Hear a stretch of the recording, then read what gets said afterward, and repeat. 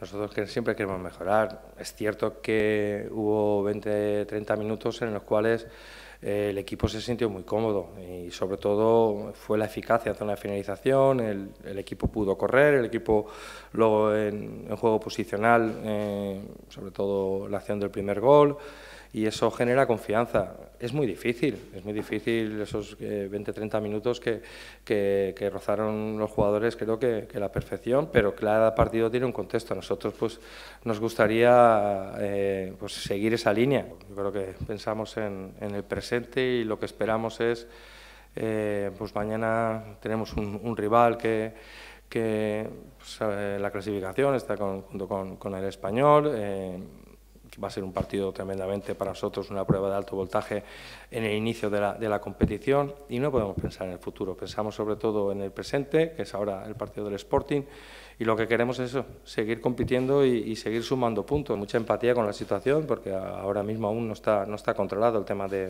tema de los contagios, y lo que queremos sobre todo es que cuando antes eh, pase, pase esta pesadilla, que, podamos sobre todo tener eh, una, vida, una vida normal, que indudablemente parece que, que por, los, por los datos aún vamos a, tardar, pero que, que, el tema de la competición está claro. ¿no? Eh, cada día es un, escenario y, ahora mismo, pues desafortunadamente, nos hemos acostumbrado eh, todos los cuerpos técnicos a, trabajar, como diríamos, hora a hora, porque en cada momento nos puede cambiar un, planteamiento. ¿no? Esperemos pronto que, esto se pueda solucionar, porque sería lo mejor, porque habría ya salud para todo, habría una vacuna y, sobre todo habría muchísima más tranquilidad y, no habría este, sobre todo esta, incertidumbre eh, tan angustiosa para, muchísima que la está sufriendo.